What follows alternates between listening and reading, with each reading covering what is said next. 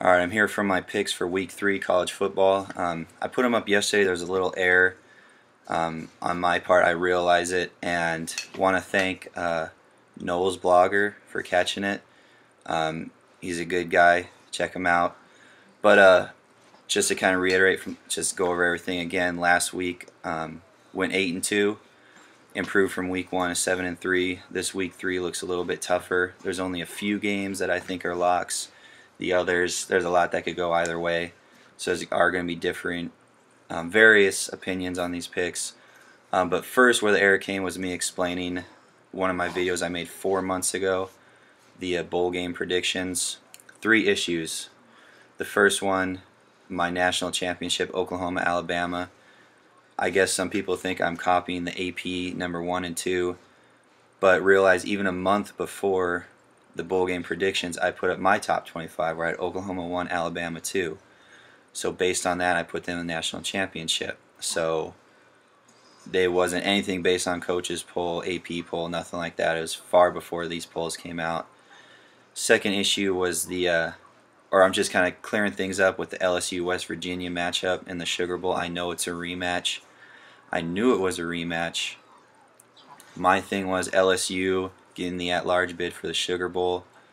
Um, that's clear to understand. The main thing, you know, West Virginia, uh, the rematch. One, if it's a good game uh, when they play in their first meeting in West Virginia, people won't mind seeing a rematch in a big game like that. The second and main thing was since the Sugar Bowl is hosting the national championship, they obviously get the top two teams in the nation. Um, so the way it works is they get the last BCS team to participate in those bowl games they get the last selection. So Big East being universally known as the weakest conference, the weakest automatic qualifying conference, I think West Virginia is going to win that Big East. Sugar Bowl lands them.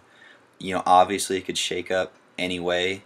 You know, somebody else could take West Virginia. West Virginia may not win the Big East, but that was my thinking on that um, Sugar Bowl. And here's where the error came, explaining Notre Dame. Um, I think what happened because in my top 25, I have them ranked right about 14. I made the error of saying if they finish in the top 14, they get that automatic berth, which it's not. It's the top eight, and that's where Knowles, uh, Blogger caught it. I appreciate it. Um, but my explanation on that was, or why I have Notre Dame in the BCS, I didn't think they're going to go undefeated, one loss or anything like that. A three-loss Notre Dame team, that's why I had them about number 14. I think that's where I got mixed up in my own head. But uh, I don't think they'll be in the top eight to get that automatic berth. But a, a team finishing number 14 with about nine wins, a BCS team or a BCS bowl game would be glad, I would think, to have a nine-win Notre Dame team. Uh, much, you know, to be improved from last year. Obviously, when I made the video four months ago, that was Notre Dame riding hot off 2010 looking good going into 2011. So obviously, them starting out 0 2 doesn't look that way right now. I think that's where people are coming in saying, "How can you have Notre Dame in a BCS bowl game?" But I made that video four months ago. Um, so there's that. So again, not top 14 gets them the automatic berth. It's not top 14. It's top eight. I think it's because I had Notre Dame in my top 25 at number 14. That's where the error came. But let's go with the picks. Um, Again, ESPN College Pick'em. Number 10, most confidence, uh, Stanford on the road over U of A. Uh, Stanford looked like they struggled a little bit with Duke, even though they're the far superior team. Uh, Andrew Luck picking up where he left off from 2010, even without all his, you know, they only returned a few, like four or five offensive starters from last year. U of A may be able to hang around. Um, they're obviously the best team Stanford's faced so far. But U of A's rebuilding their offensive line from last year. Uh, Nick Foles is a great quarterback. Uh, Criner is a great receiver. Probably one of the best combinations in the Pac-12 there, quarterback receiver. I think Stanford is just too much for U of A to handle, even on their own field. Number nine, South Carolina at home over Navy. Navy one-dimensional run team. South Carolina is going to have to get more physical in the trenches. They're highly athletic there but they just need to get more physical. Um, they were completely outplayed by Georgia last week in every aspect of the game except for the big plays, which got South Carolina the win. I know the wins all that matter, but they were outplayed by Georgia. They escaped late. Obviously, the big plays: punt return for or fake punt for a touchdown, interception for a touchdown, fumble recover for a touchdown. That's you know that that got them the win. But they're going to have to pick up their level of play here before they dive deep into the SEC play.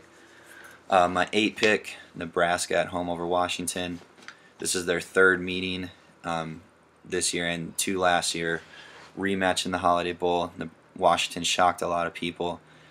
This game being in Nebraska, I think Nebraska's going to be too much. Um, obviously, you know, Washington has looked good this year. Um, this is going to be their toughest challenge. Keith Price has looked amazing this season. You know, seven touchdowns, one pick. A lot of people think he's going to be better than Jake Locker. Uh, this is this is the test. This is a chance for him to prove it. But I think that defensive talent for Nebraska, Alfonso Dennard at corner, Jared Crick there on the line, going to be too much for Washington. Um, Taylor Martinez, at times he can look like top 10 player in college football, other times not. I know he had that uh, lingering injury from last year, but I just think Nebraska is going to be uh, too much for Washington. Now here's where the picks can start going either way. Um, my seven pick Texas over UCLA. Last year, UCLA went into Texas, embarrassed the Longhorns. This year, it's in LA. Texas last week against BYU. Uh, it took the benching of Garrett Gilbert and putting in McCoy and Ash at quarterback, that rotation to make them, they look like a completely different team. Ash brings a lot of versatility to the offense.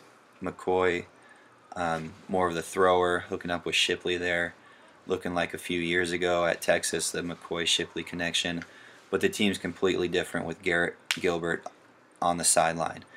They have the defense. UCLA still looking one dimensional, can't find their rhythm at quarterback. It'll be close, but I like Texas. Um, now, six, Auburn over Clemson. Again, another rematch from last year that went into overtime. Overtimes. Uh, Auburn shocked a lot of people beating Mississippi State. It was a close game. They're showing you know why they're the defending national champions. People have to respect them. Uh, Clemson, another one of those inconsistent teams from the ACC. Uh, they do have a really good back, Andre Ellington. There's going to be two good backs facing each other. You know Ellington and of course Michael Dyer from Auburn. Should be a good game. I like Auburn though. On the road, it's going to be their first road test this year. Death Valley's a um, tough place for anybody to play, but I like Auburn. Now, five, the big game of the weekend um, Oklahoma over Florida State. Florida State, it is in Tallahassee. That's one big thing they have going for them. They're a young team. I just like Oklahoma's overall individual level of play.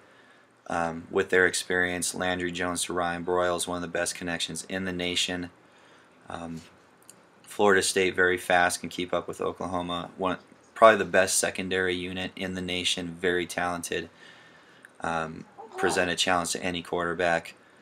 But uh, in a close game, I like Oklahoma on the road. It's not going to be a 30 point blowout like it was last year. But I like Oklahoma with the five confidence. Um, four, this one could be lower just because Iowa disappointed me last week, um, losing that rivalry game on the road to Iowa State, three overtimes.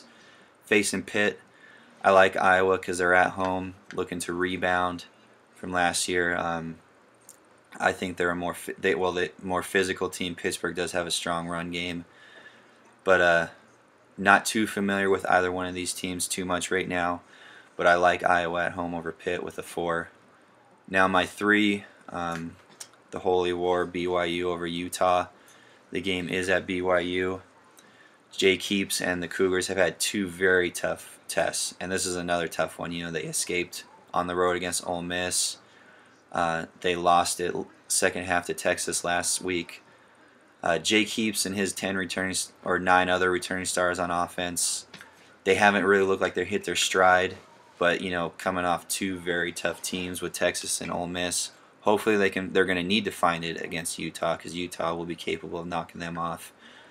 Uh, Utah lose their only loss coming to USC, which they played very tough. Uh, that came down to the last drive for Utah.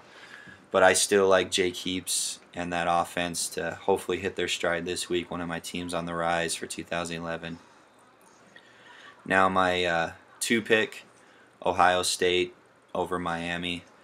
Uh, Miami, I like Stephen Morris at quarterback. The guy's very talented. Skill wise, he's got a little ways to go mentally. Um, but Lamar Miller, very strong runner in between the tackles for Miami.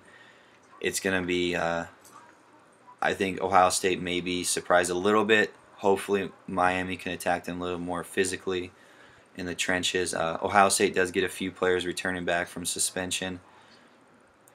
Um, Ohio State in the past, I think they are going to be able to run the ball against Miami, but if they want to attack the field, um, attack the middle of the middle of the field against Miami, that's what Maryland did um, in Miami's very first game. The middle of the field was wide open. I think hit the tight ends over the middle, run some uh, crossing routes through the middle of the field. I think they can uh, exploit the Miami defense. But uh, I like Ohio State with the confidence of two. Now my one confidence, you look at this game, right away you think Michigan State. But I'm going with Notre Dame. I don't think this team can afford to. They got their backs against the wall.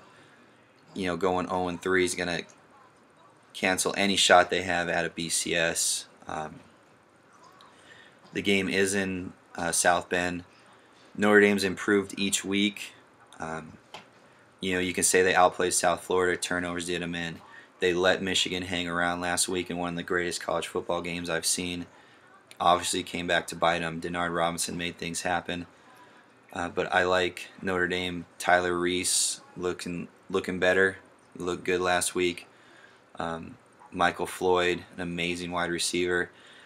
For Michigan State, they've got one of the best leaders in college football, Kirk Cousins. A balanced run attack with Edwin Baker, uh, Le'Veon Bell those guys will touch the ball the same amount of times, get the same amount of yards.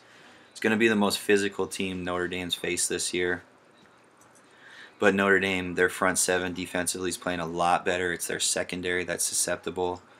Whereas with Michigan State, if you get beat, you're going to get beat in the run game. Um, so I like Notre Dame in this. The only reason I'm picking them is because they're 0-2. I don't think they can afford to go. You know, it's one of those teams with their back against the wall You're going to come out and fight everything they have. They're going to need to. Um, a couple games I'm surprised that weren't on here. Uh, Tennessee and Florida for this Saturday. Um, that's an, another game that could be tossed up. I'm going to have to take Tennessee. Uh, they're one of my teams on the rise. They are looking very good this year. Uh, Florida, not a. I mean, they look you know undefeated as well. Um, but I, that's going to be a great matchup. I like Tennessee with Tyler Bray and that young, talented team.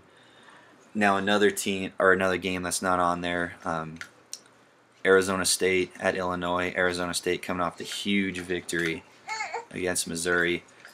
Um, I like Arizona State on the road. The only reason I think they lose is from a letdown game coming off that big win against Missouri. Um, Illinois, another very physical team from the Big Ten. Uh, Scheelhaase knows how to run that option, option attack. But ASU, very fast team, special teams, helps them out a lot. Jamal Miles returning kicks. Um, Brock Osweiler, a quarterback, very deceivingly mobile. He can get out of the pocket, make things happen. He spreads the ball around to all his targets. The front seven of ASU defensively, um, best in the Pac 12 one of the best in the nation, Junior Onyeali, an outstanding young talent, one of the most underrated players in the nation. Um, he's good, strong against the run and can get after the passer. Of course, their linebacking corps, headlined by Vontaze Burfict, um, best linebacker in the nation, most physical, hardest hitting guy in the nation. If he meets you, he's done. He does play over aggressive at times where he can miss overrun plays, but uh, he he can fight through traffic. He oftentimes beats blocks to meet the play. Um, I like ASU on the road. I think this is ASU's year in the Pac-12. Going to win the Pac-12 South. So there's the picks. Two extra bonus picks, not on the pick 'em, but there they are for week three. All right.